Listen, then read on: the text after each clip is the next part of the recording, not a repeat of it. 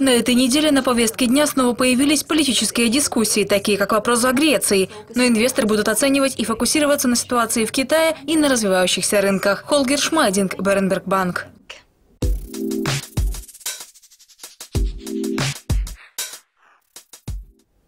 Вчера Европейский Центральный банк решил оставить процентные ставки неизменными. Представители банка сказали, что их политика эффективна, просто им требуется время. Как вы считаете, сколько времени им потребуется? И когда ЕЦБ сможет реально изменить свое направление монетарной политики? Как правило, монетарной политике требуется от 6 месяцев до года, чтобы проявить себя. И в этом контексте представители ЕЦБ абсолютно правы. На это действительно потребуется определенное время. В течение следующих 6 месяцев нам предстоит проследить за тем, изменятся ли ожидания бизнес-сферы и улучшатся ли показатели кредитования кредитования. Если так и произойдет, то Европейскому Центральному банку не придется предпринимать дополнительные меры вдобавок к обширному пакету мер, который был представлен в марте.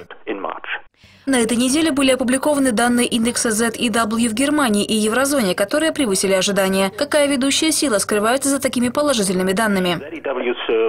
Исследование индекса ZEW концентрируется в основном на участниках финансовых рынков. Потому очень часто на результаты этого исследования оказывает влияние то, о чем говорят участники финансовых рынков. В течение нескольких последних недель мы наблюдали рост стоимости акций.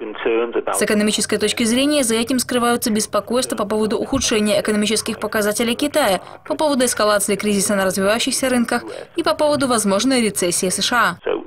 Некоторые беспокойства, которые потрясли рынки в январе и феврале этого года, уже отошли на второй план. И в результате мы видим, что сейчас прогнозы для многих экономик выглядят более оптимистично, как считают многие профессионалы. Уровень безработицы в Англии вырос впервые с середины 2015 года. Можно ли сказать, что положительная тенденция на рынке труда постепенно угасает, или же работодатели просто воздерживаются от найма до тех пор, пока не прояснится ситуация с выходом Англии из ЕС? Последние данные были довольно волатильными. Они были недостаточно слабыми для того, чтобы говорить о кардинальном изменении положительного тренда на рынке труда Великобритании.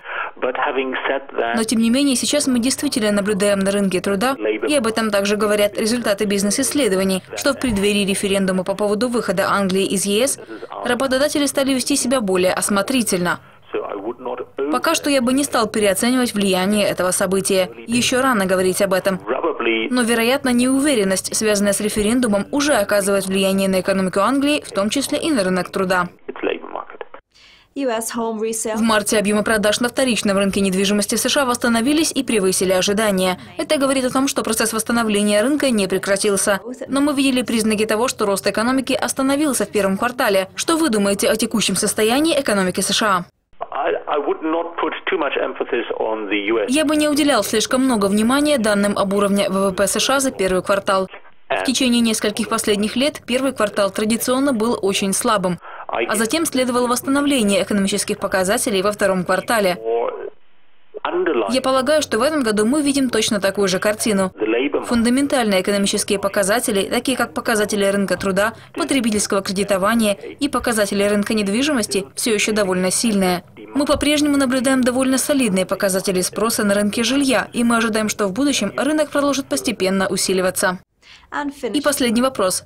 Какие еще события и публикации оказали влияние на финансовые рынки на этой неделе?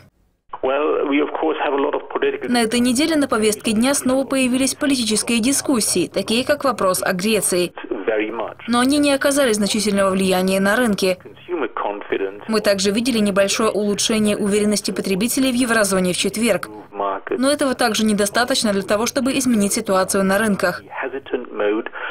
Я считаю, что на данный момент мы находимся в режиме ожидания. Рынки практически не реагируют на индивидуальные публикации данных. Рынки пытаются оценивать картину в целом, в частности, если это касается ситуации в Китае или на развивающихся рынках. Холгер, спасибо за ваши комментарии. На этом наше время подошло к концу. С вами была Луис Макколи. Всего доброго.